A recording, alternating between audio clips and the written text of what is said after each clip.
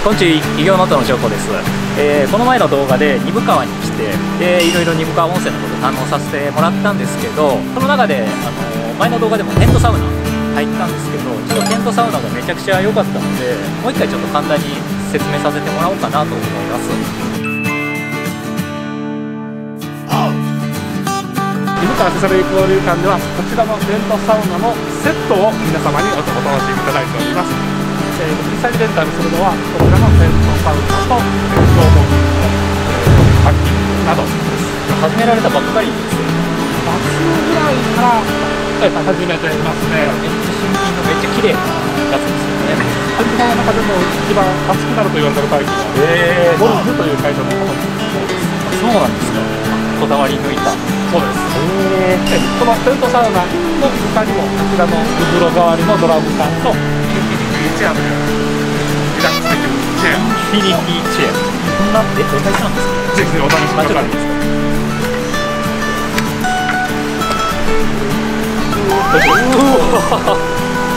すごいこれ水風呂の後に体を拭いてこちらで外気を通すとかなりリラックスできますこれは整うってやつですね。間違いなく。景色もいいですね。こう見た時。空が広がってくる。この実は清流からすごく涼しい風も吹いてくるので。ぜ確かに。ひぜひちょっと中の方入ります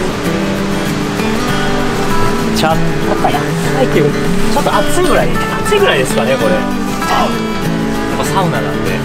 実際にそのロウリュをやってみましょう、熱々ローリュこれをここにかけるやつです。か、でちょっと行ってみます。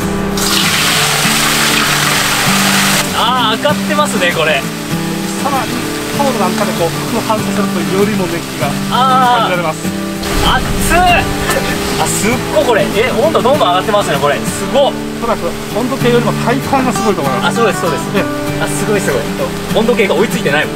多分。多分これ。実際にかけた直後にあじゃあちょっともう一回止めて。回せばかなり。来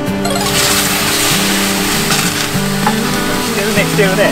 ああ真夏のジャンボ上がってる。俺も上がってる。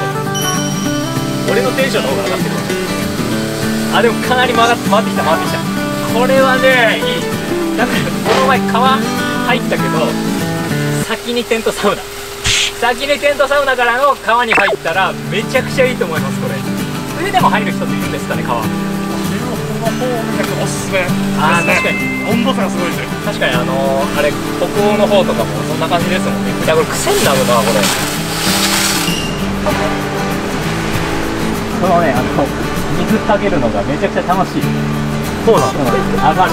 あの日本酒をグッと飲む時のテンションと一緒。だんだんだんだんどんどん楽しくなる。暑い。いやすごい暑い。あ暑いえもうすでに暑い？いやすごいよ。これそうなんさっき中の方も入らせてもらったけど、それより暑い、そうなんうん。こっちはね全然それ根拠これすごいわ。このテントの。本当サウナみたいなのがあるんだ